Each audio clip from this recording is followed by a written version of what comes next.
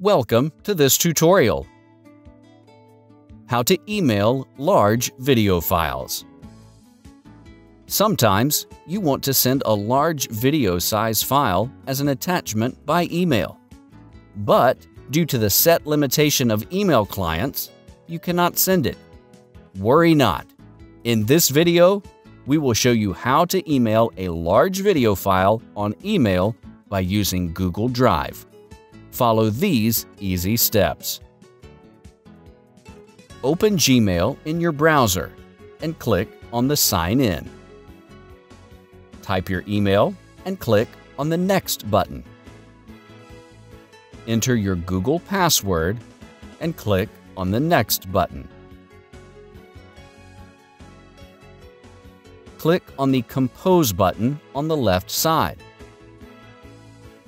In the New Message Compose window, click on the Google Drive icon in a triangle shape.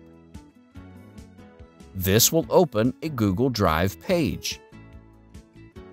On the top menu, click on the Upload tab. Click on the Select a File from your device button. Select a video from the saved location on your PC, and then click on the Open button. The video will be uploaded on Google Drive.